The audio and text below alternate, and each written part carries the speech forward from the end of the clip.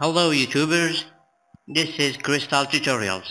Today I'm gonna show you a tricky way to download any APK file from the Play Store without using any applications.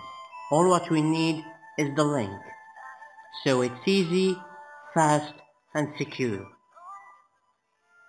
Let's start. First, what we need is to find our application we'll go to the Play Store. For example, I want to download this game, Clash of Clans. I'll click, I'll click it, then I'll go down under the comment section, you'll find a share button. Click it, and then a window will pop up and you'll notice copy to clipboard.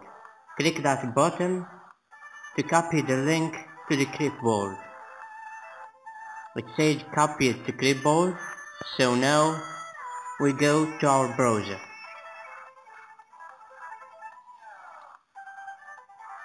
Then we'll paste our link.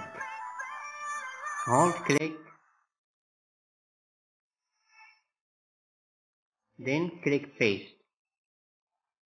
In this link, in the beginning of it, you notice this play.google.com. What we're gonna do is to delete this play.google, then replace it with another word. So first, we will delete it and then write apk minus dl apk minus dl dot com. And also it's very important to delete this s after http and then click go. After a second you'll notice that your browser starts to download a file.